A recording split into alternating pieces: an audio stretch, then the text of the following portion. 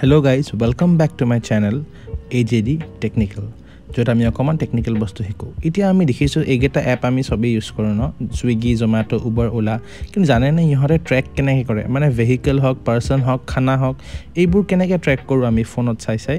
So the invention যোনে এই ষ্টাৰ্টআপবিলাকৰ fuel হিচাপে তেল হিচাপে কাম কৰিছে সেইটো হ'ল জি পি এছ তাৰমানে গ্ল'বেল পজিশ্যনিং ছিষ্টেম আৰু এইটো আমাৰ চবৰে ফোনত ইণ্টিগ্ৰেটেড আছে আজিকালি নহয় জানো?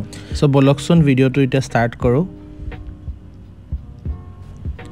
অৰিজিনেলি এই জি পি এছটোৰ ডেভেলপমেণ্ট আপোনাৰ ইউ এছৰ ডিফেন্স অৰ্গেনাইজেশ্যনে কৰিছিলে সিহঁতৰ ডিফেন্স ছেফটিৰ কাৰণে। চ' বেচিকেলি এইটো কিন্তু অপাৰেশ্যনেল হৈ গ'ল নাইনটিন নাইণ্টি ফাইভৰ পৰা আৰু পাব্লিক ইউজত ইউজ হৈ গ'ল। জি পি এছে টুৱেণ্টি ফ'ৰটা ছেটেলাইট ইউজ কৰে যাৰ ভিতৰত অকল চাৰিটাহে আমাৰ দৰকাৰ যোনটোৱে আমাৰ পজিশ্যনটো কৈ দিব পাৰে। চ' মানে ৰিচিভাৰৰ পজিশ্যনটো তো বলকচোন চাওঁ জি পি এছটো আচলতে কামনো কেনেকৈ কৰে? চাওক এইটো আমাৰ পৃথিৱীখন নহয় জানো? এনেকৈ চৌব্বিছটা ছেটেলাইট জি পি এছৰ আমাৰ চাৰিওপিনে ঘূৰি থাকে ৰিভল্ভ হৈ থাকে। তো বেচিকেলি আমি দেখি দেখিব পাৰিছোঁ যে ছেটেলাইট বিলাক এনেকৈ পৃথিৱীৰ চাৰিওপিনে ৰিভল্ভ কৰি থাকে মানে ঘূৰি থাকে। তো আপুনি ধৰি লওক পৃথিৱীৰ ওপৰত মানুহ এজনে আপোনাৰ ৰিচিভাৰটো লৈ পিনে তাৰমানে আমাৰ ফোনটো লৈ কিনে থিয় হৈ আছে। এতিয়া আমি চাম যে চাৰিটা ছেটেলাইটেনো কেনেকৈ এই মানুহজনৰ বা ৰিচিভাৰটোৰ লোকেশ্যনটো কয়। চ' প্ৰথমতে আমি দুটা ছেটেলাইটৰ এক্সাম্পল দি অলপ বুজি লওঁ।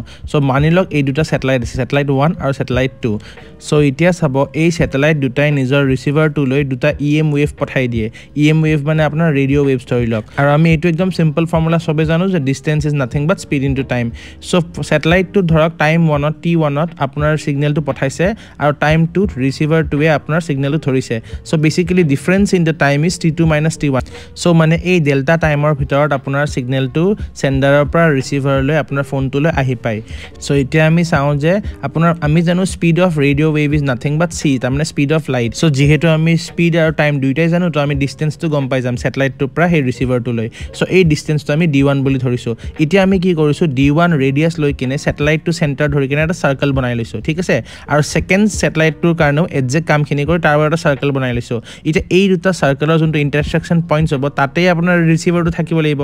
চ' আমি এতিয়া আমি থাৰ্ড চাৰ্কেলৰ আপোনাৰ আমাৰ যোনটো আৰ্থৰ চাৰ্কেলটো সেইটো লৈ লৈছোঁ। তেতিয়া আমি গম পাম এই পইণ্টটোতহে জি পি এছৰ লোকেশ্যনটো আছে। কিন্তু এই গোটেইটো এটা টু ডি স্পেচত কৰা হৈছে নহয় জানো? কিন্তু ৰিয়েলিটিত আমাৰ থ্ৰী ডি ৱৰ্ল্ড আছে।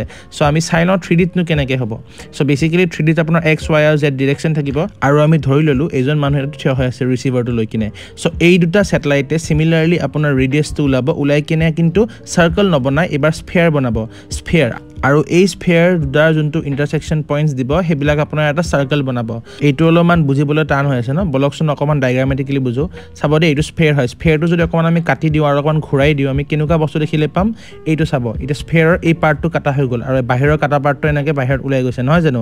এতিয়া চাব দেই আপুনি এটা চাৰ্কেল পাই গ'লনে? চিমিলাৰলি আকৌ এটা আমি তলত যদি লওঁ চাব আৰু এটা স্ফেয়াৰ ল'লোঁ সেই স্ফেয়াৰটোৰ অকণমান পাৰ্ট কাটি দিলোঁ। চ' চিমিলাৰলি আপুনি এনেকুৱা এটা বাহিৰত পৰ্চন পাই যাব।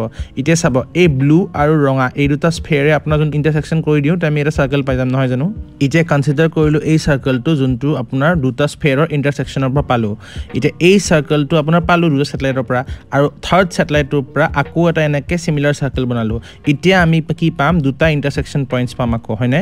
আৰু এই দুটা ইণ্টাৰছেকশ্যন পইণ্ট পালোঁ আৰু আৰ্থৰটো থাৰ্ড চাৰ্কেলটো লৈ ল'লোঁ। চ' বেচিকেলি এতিয়া আমি সেই মানুহৰ বা ৰিচিভাৰৰ পজিশ্যনটো পাই গ'লোঁ। এতিয়া থাৰ্ড ছেটেলাইটটো আমি লৈ কিনে এই এই পজিশ্যনটো পাই গ'লোঁ নহয় জানো? থ্ৰী ডি স্পেচত মানে আমাৰ তিনিটা ছেটেলাইট লাগিব। এতিয়া যদি তিনিটা ছেটেলাইটে আপোনাৰ ডিটেকশ্যন কৰি দিব পাৰে পাৰ্চনটো তেতিয়াহ'লে আমাক কিয় ফ'ৰ্থ ছেটেলাইটটো লাগে? Now here comes a very important and crucial point যোনটোৱে আপোনাৰ অকণমান চেঞ্জ কৰি দিব বস্তুবোৰ। এতিয়া চাব দেই ছেটেলাইটৰ টাইমটো আৰু আপোনাৰ ফোনৰ টাইমৰ ওপৰত চবখিনি বস্তু ডিপেণ্ড কৰে। কিন্তু মনত ৰাখিব যদি অকণমানো যদি ডিফাৰেঞ্চ পৰে সেই ডিফাৰেঞ্চবিলাকে আপোনাৰ ডিষ্টেঞ্চত বহুত ডাঙৰ ডিফাৰেঞ্চ আনিব। বিকজ এইবিলাক চব স্পীড অফ লাইটত কেলকুলেশ্যন হৈ আছে। চ' মাইক্ৰ' ছেকেণ্ড যে আপোনাৰ টেন থাউজেণ্ড কিলোমিটাৰ্ছলৈ ডিফাৰেঞ্চ আনিব পাৰে। চ' এতিয়া চাব আমাৰ ছেটেলাইটবোৰত কিন্তু হাইলি একিউৰেট এটমিক ক্লকছ থাকে যোনবোৰ বহুত একিউৰেট কিন্তু আমাৰ ফোনততো এটমিক ক্লক নাথাকে।